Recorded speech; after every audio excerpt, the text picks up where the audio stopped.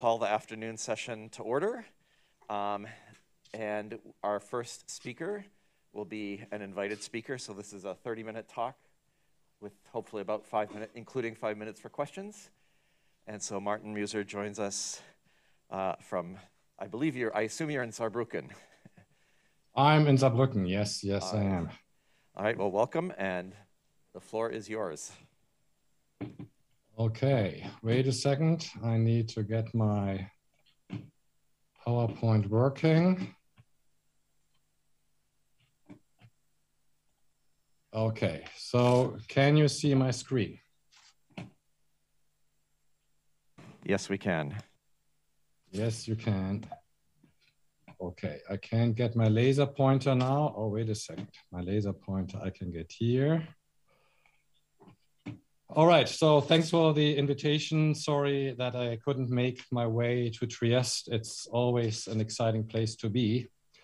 And actually, the last time I went, I had a very pleasant encounter with somebody I was asked to share a few words about. Um, so, Ario and Andrea asked me to make a few comments on Mark Robbins and his contributions to the field. Um, now I find it very hard to do that in a few minutes because Mark had so many, many outstanding contribution. Um, yet it may be worth uh, emphasizing a few. Um, I think the first really big milestone he left was on the melting or sliding induced melting of a boundary lubricant, which would basically pull out energy from motion, but the recrystallization would not propel the system and so he suggested a very important mechanism, which is uh, responsible for stick slip.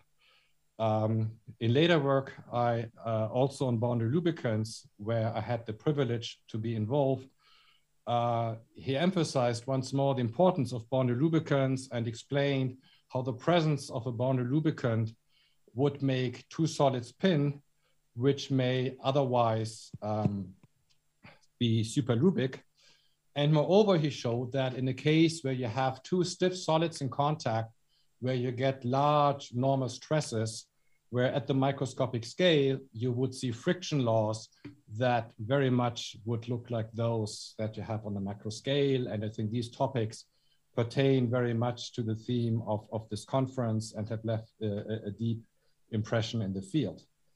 Um, he also opened up a new field, the simulation of rough contacts, where we got very important information on what are the stresses, what actually happens when we have nominally flat surfaces, how does it affect adhesion. He did that together with Lars Pastewka, who is in the audience.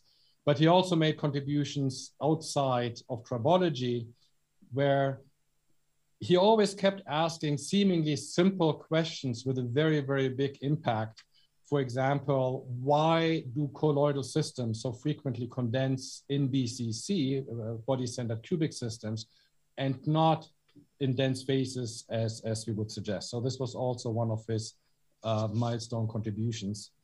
Um, in my opinion, he was the most uh, prolific modeler in the tribological community, uh, and certainly a front runner in the bigger field of condensed matter physics, StatMech, and materials physics.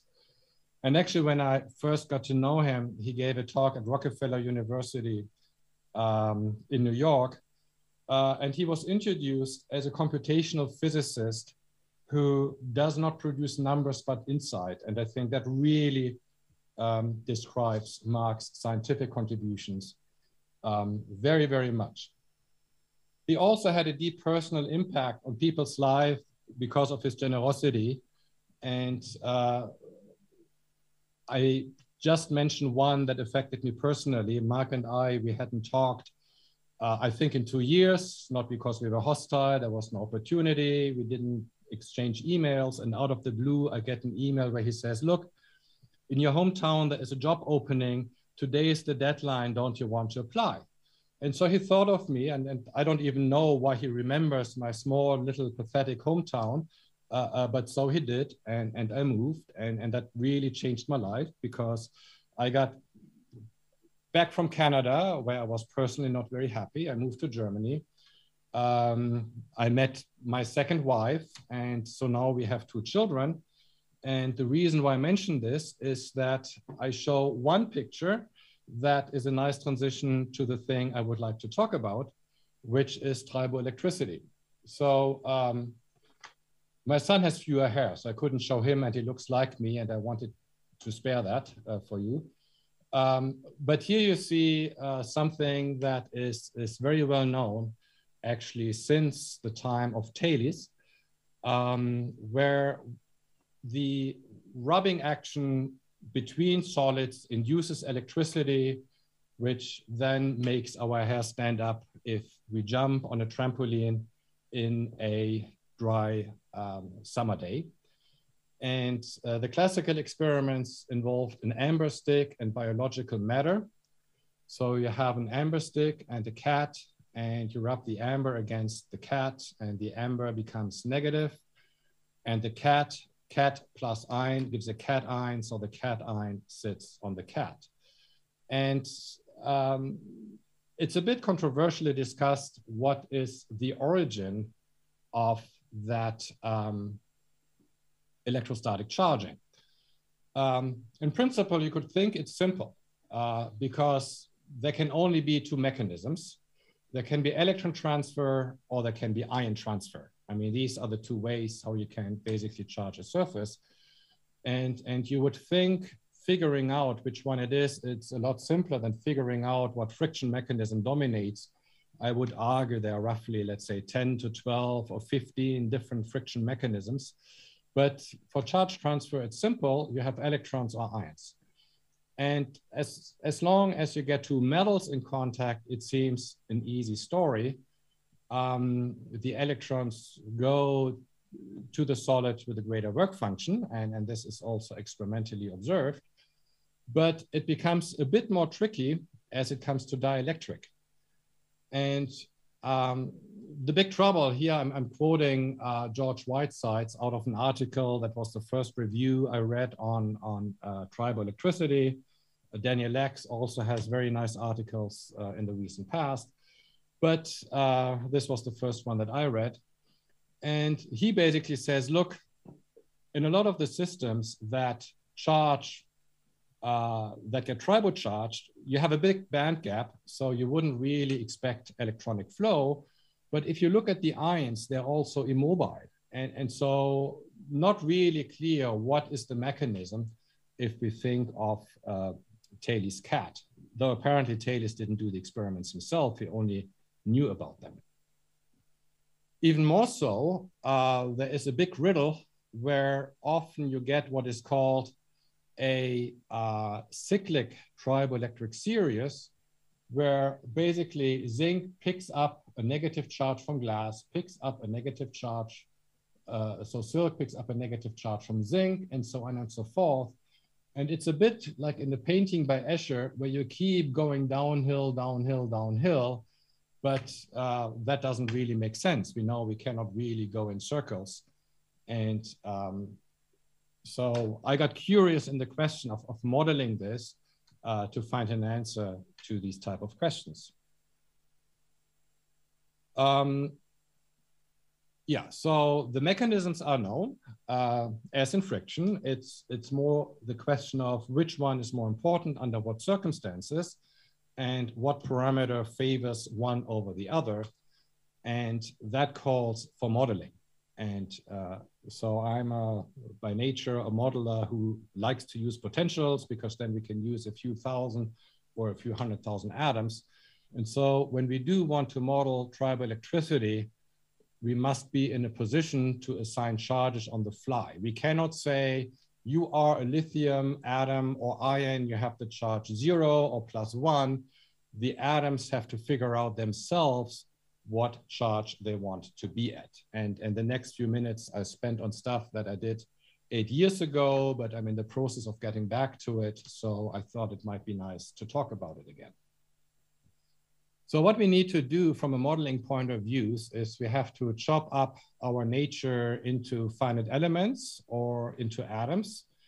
And then what we need is we need a description that says what is the potential energy um, as a function of the atomic charges that we assign And, and usually what you try to do or what you assume when you do an electronic structure calculation is you assume that a system tends to find the minimum of this, uh, of this function here.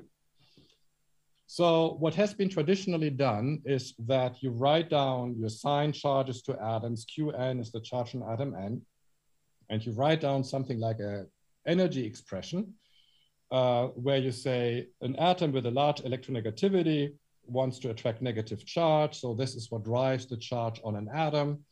Too much charge on an atom starts to repel itself, right? So we cannot put a charge of minus three on an oxygen atom. It doesn't like that. So this term would be called the chemical hardness. And then we have the Coulomb interaction, which may be screened. Um, and, and then we minimize this thing with respect to the charges and assume we can be happy. Uh, now DFT does something similar, uh, except that DFT doesn't discretize space towards atom, but it's in a, in a charge equilibration model that I'm talking about now, the energy is a function of discrete charges, and in DFT, it's a functional of a continuous electron density, but the philosophy is very similar. Now, if we do that, we run into a big trouble, which is that if we separate atoms from each other, let's say we separate a methane molecule from a water molecule, uh, the molecules end up with non-integer charges. Um, we have a superlinear polarizability of polymers with a chain length. Uh, our dielectric constants are always infinitely large, so we formally correspond to a solid and uh, the dipoles of an alcohol chain are linear in the length of the chain, which is not really meaningful either. So this problem we managed to fix by saying that uh, um, if we assign charges to a molecule, here is a, a hydrogen terminated uh, silica molecule, um, we can donate a partial charge only to a neighboring atom. And what we have to do is paying, basically pushing partial charge across a bond needs to be penalized uh, with a bond stiffness term. And so this was a combination of potentials that existed before that were atom-based or bond-based, and this model was a split between the two. And uh, now on the fly, we determine the charges using this method. And it works great. It produces meaningful dissociation limits. It leads to more transferable charge assignment schemes it has the correct size dependent polarizability. And this parameter of the bond stiffness can be easily related to a dielectric constant. But the correct dissociation limit is not only uh, uh, a blessing, but it's also a curse because whenever we separate two charges, eventually when we separate, let's say a chlorine atom from a sodium, eventually the sodium says, give me my charge back because my, my ionization energy is greater than your electron affinity. And so at very large separations, we always go back to a uniquely charged um, uh, state. Oops. So here you see in the movie what happens is uh, any physicist will recognize that this is an amber rod and, and, and this is a cat, right? So it cannot be mistaken. So we approach with a rod to the cat. It picks up uh, negative charge. Uh, the cat picks up positive charge. But as we go back, uh, the charge goes back. And, and DFT actually suffers a bit from the same problem because like any other method that assigns charges or charge density on a unique minimization principle, um, your charge state depends exclusively on the atomic positions, but it has no history dependence added to it. But we do have a history dependence. Uh, for example, if you separate an NaCl molecule and you do it very slowly in a non-polar solvent, uh, you will end up with two neutral atoms. But if you separate them very quickly or in a polar solvent, which you later evaporate, you are going to end up with a positive charged cation and a negatively charged chlorine ion, uh, anion. So, uh, and simulations need to reflect that so that we can model triboelectricity. So what we did is we introduced a new variable to the classical potentials where we said we have to develop potentials relative to the oxidation state. So a Cl minus atom is a completely different species than a chlorine atom and the force field has to develop for each of those fields. And, and uh, basically this oxidation number is not subjected to a bond hardness. And otherwise we do everything as before. And now when the amber rod approaches a cat, it can pick up charge. And uh, so here we basically model things with an electron charge transfer where there is no ion that crosses the interface, but there is charge because the charge wants to swap. Uh, when the amber rod and the cat are close to each other, the charge is happy when it swaps. And when it's pulled too far away, it's kinetically hindered to do the transition. And um, in a way, we could argue we have a, a dissipation mechanism uh, because it costs more energy to pull the tip away than to approach it. So whenever you have hysteresis, um, that leads to energy dissipation and triboelectricity certainly is one of the mechanisms that uh, we haven't really studied so much and it might be worth to do so um, in the future. Um, now we can do the same thing for metals. Uh, when we switch on metals, you see the charge of a metal wants to sit on the surface, you get much more charge flow. And once we did this, we actually noticed, hey, now we can do, now we can model actually the discharge of a battery, which we did. So we have an anode, an electrolyte, and a cathode. And whenever you close the switch here, you basically get uh, charge transfer, and, and that is irreversible. So in a way, when you close the switch, you get tribocharging. And if you open it again, the charge doesn't go back. And, and so uh, once we had the model down to simulate tribocharging, the first thing we actually did um, was to look, uh, set up a simulation of a small scale battery uh, where the anode could basically pass electrons through an external resistor to the other side. The switch would be closed the charge would flow proportional to the voltage between the anode and the cathode, which DFT would always level to zero. Uh, and then we could measure the flow and we could basically see the discharge curves for different resistances. And that actually matched experiments fairly well, which we only see one year later. So this voltage time was really a prediction and not a post-diction. So we didn't have this Duracell battery uh, in front of us when uh, we did the calculations. Now, the trouble of all these calculations that are presented is they're all done with toy models. So we take Lennard-Jones and we add a complete redox scheme on it. And uh, we want to move towards more realistic chemistry. And one of the steps to do that uh, actually also took a long time ago. Um, so let's go back to triboelectricity and ask the question, what are the ways to actually produce ions? And one of the things we noticed when we worked on decomposition products or what we expected to be decomposition products of antiwear additives was that stress could produce ions. And I'll show you the slide in a minute, and I will elaborate on that uh, also a bit more. So imagine you have neutral molecules to begin with, uh, you add stress.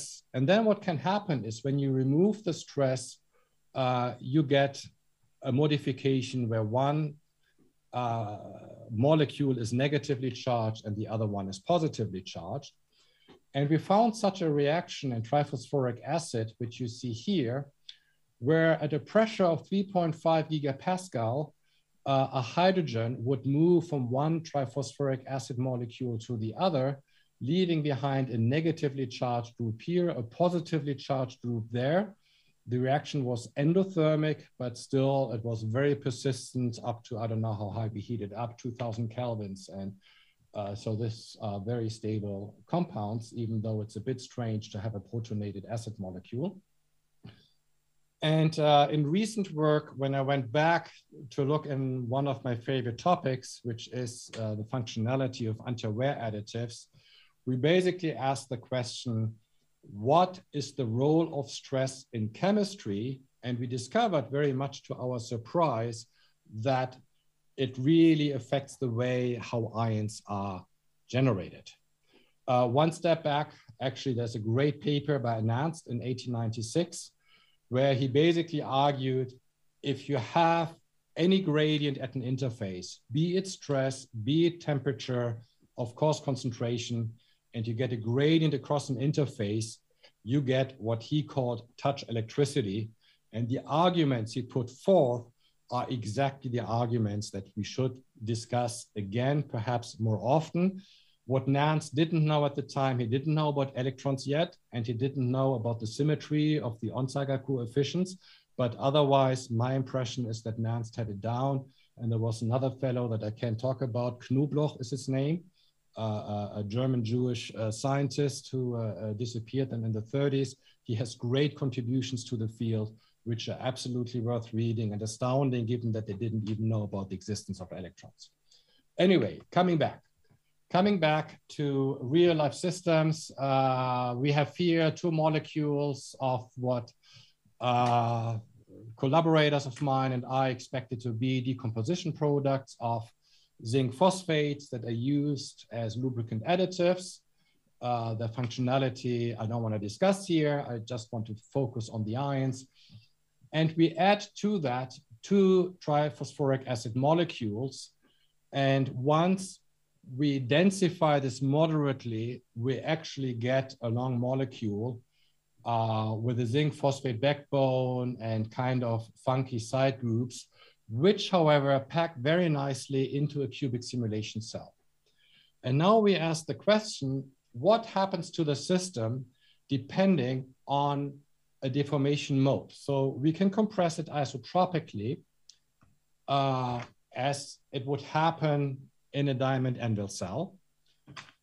But if you think of a tip, if you think just of a mechanical contact where you touch down with a tip, the material underneath the tip wants to basically push to the side, but it can't because there's other matter already sitting there. So we, we took two extreme point of views where we said, let's make a uniaxial compression um, where the material is not allowed to breathe and then let's make a compression where the system is allowed to breathe to the extent that the system is volume conserving. So I would argue that real life is somewhere between this area conserving and volume conserving condition. And what you get is you get implicit shear. So you don't necessarily apply a shear force on the surface, but because the stress tensor is not diagonal anymore, uh, you have a deviatoric stress or Mises stress or shear stress, whatever you want to call it. And then we made the interesting observation that depending on the type of compression mode, the system transformed in a very different way. So as we added isotropic compression, we had a truly exothermic, uh, uh, exothermic uh, uh, uh, reaction, if you wish, where the energy gain per zinc atom was 0.7 EV. Oh, I forgot the units here, so 0.7 EV. And the system was very, very stiff. Um, when we did the same with uniaxial area conserving, we got a similar stiffening, but we gained much less energy during the compression. And when we did this in a volume conserving fashion, we barely gained any energy and the bulk modulus, the stiffening was not as big. And here, not surprising, actually what the systems are trying to do when they're under non-isotropic stress, uh, they're trying to become isotropic. And then once you release the stress again, you'd be soft along the direction parallel to which you have compressed. And so I think I'm convinced that happens in the tribological contacts. And if the chairman of the session ever manages to cut out a, a, zinc phosphate tribo layer and, and, and Rob, if you ever manage to measure the stiffness normal and perpendicular to the old compression direction, um, I would cook you a great dinner, okay? Uh, so what do we see on the charges? We see something very, very interesting, I find. Uh, so here I just show you one case for the area conserving compression which is the von Mises stress didn't really go up so much. But at a strain of 0.1 or 0.15, we found 10 mobile hydrogen atoms or protons. And what do I mean with mobile hydrogen atoms? At one value of stress, we run a simulation of roughly 20 picoseconds, and we counted the number of protons that had changed the oxygen that they had been bonded to. And what we see is actually the stresses were not very big. So the hydrostatic stresses were one gigapascal or two gigapascal, something that you can easily, easily achieve in a tribological contact between two stiff materials. There was this whole large bunch of mobile protons in the interface. And then again, Nernst's argument, you have a gradient across the interface, be it chemical, be it stress, and boom, you get a charge transfer. As we kept compressing further, again, you would see that the number of charges go up. And even in a small cell like this, uh, on average, 10.5 um, ions or protons change the oxygen number, oxygen atom that were bonded to. Then a coordination change of zinc occurred. And, and the Lewis structures, uh, yeah, and after that, the number of mobile ions uh, decreased. So stress and actually not only hydrostatic stress, really the exact shape of the stress tensor appears to have a tremendous effect on how the atoms charge uh, there. And here you see the structures after decompression. So after we decompress the samples, um, we see a lot of Zwitter ions where in the, in the hydrostatic compression, we get a negatively charged oxygen here, a positively charged there, so this group is only bonded via Coulomb interaction to the zinc. So you could argue we have produced a cation, which is a protonated phosphoric acid, uh, which then in an interface might decide to go to the other side of the interface.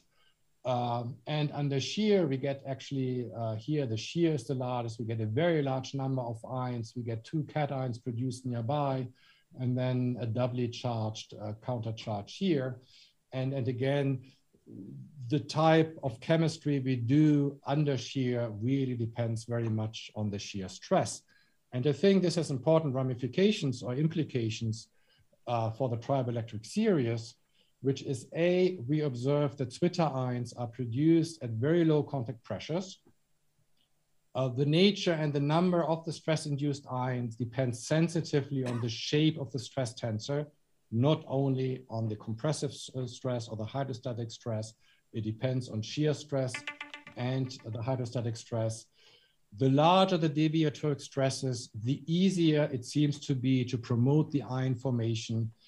And any system in which charge transfer is triggered by ion transfer. I'm not saying that all of them are. I'm not saying I explain everything, but those that do tribo charging in a system that has a very stress dependent number of ions simply cannot be assigned um, a unique positioning in the triboelectric series. Uh, I would say that for the class of tribocharging that I was looking at, uh, what you should generally have in a triboelectric series is at least two stiff materials where you get very high, high contact pressures and one where you are soft and, and then it's almost unavoidable to have this type of, of series. So actually I was faster than I was supposed to be. I was uh, supposed to hurry. Uh, I would like to thank my collaborators, uh, Sergei Sukhomlinov. He ran the simulations on the zinc phosphate.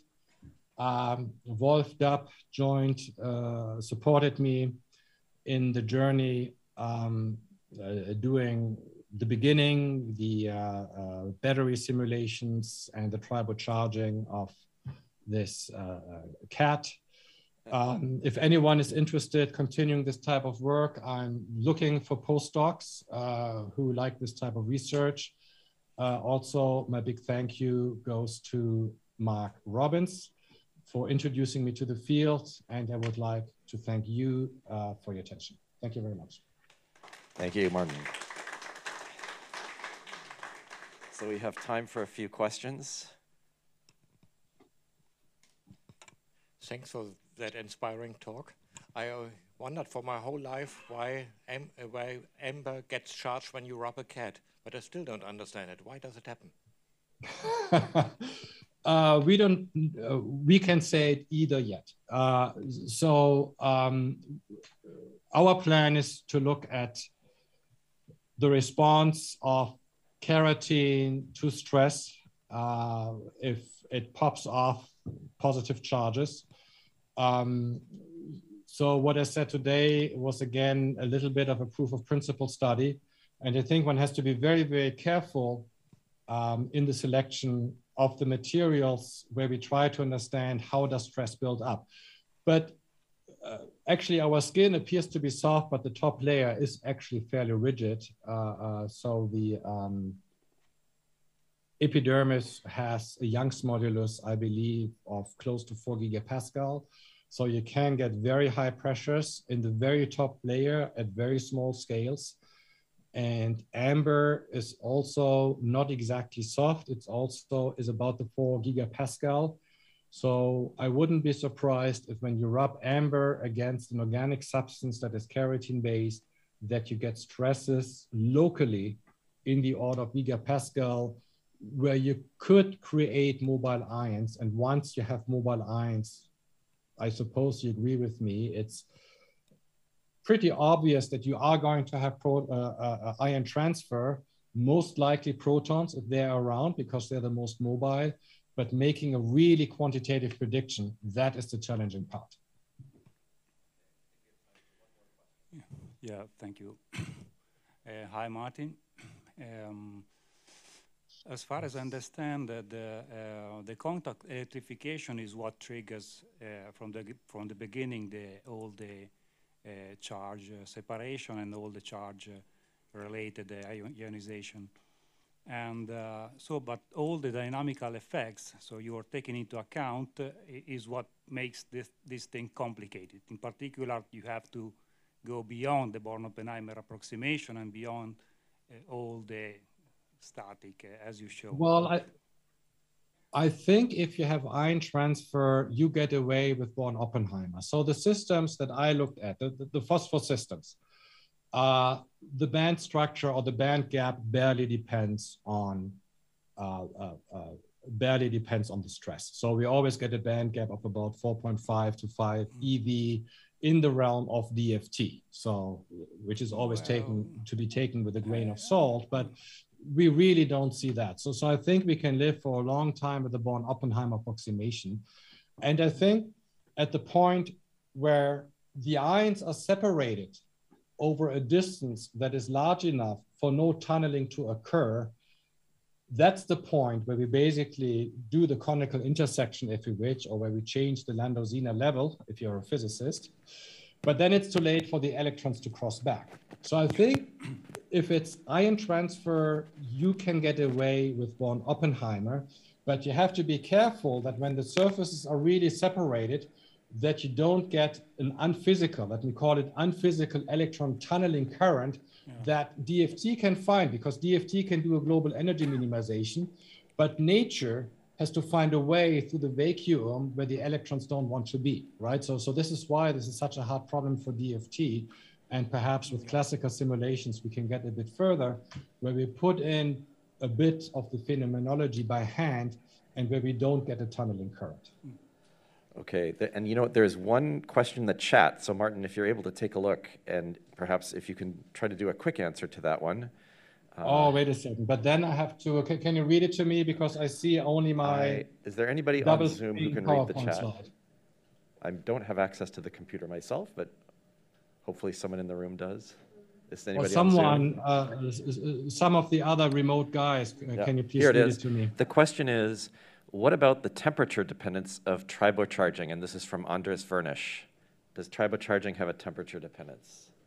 Thank you. Uh, it certainly will, uh, but I don't want to make any predictions at the point. So, so what I really want to do is I, I want to parameterize force fields uh, and then I can start to answer these questions. But, but currently, I have the tools, uh, but I don't have the potentials yet to really look into that.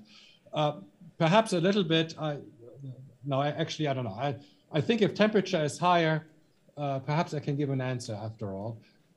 Once you pull the surfaces out of contact, um, there is an energy barrier for the ions to go back where they want to be. And if temperature is high, that is going to happen more quickly. So uh, my belly feeling says if temperature goes up, you reduce the tribocharging because ions have an easier time to go through a barrier to the place where they actually want to be.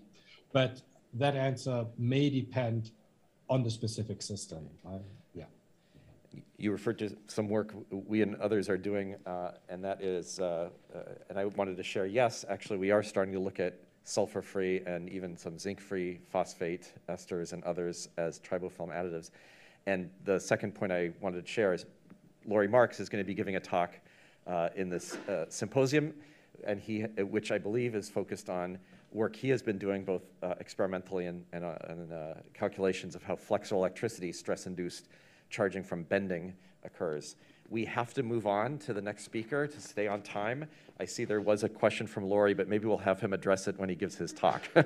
and let's thank, I hope I can make Yeah. it to Laurie's talk because I have to teach. I have a Ah. busy week, but I'm trying to make it, uh, it's okay? a I'll, I'll read his comment. It is for some cases, e.g., uh, sliding Schottky contacts, the temperature dependence follows thermionic emission. So, uh, comment about the temperature dependence. Okay. Very good. All right, great discussion. Uh, let's thank Martin for a very stimulating talk. Thank you.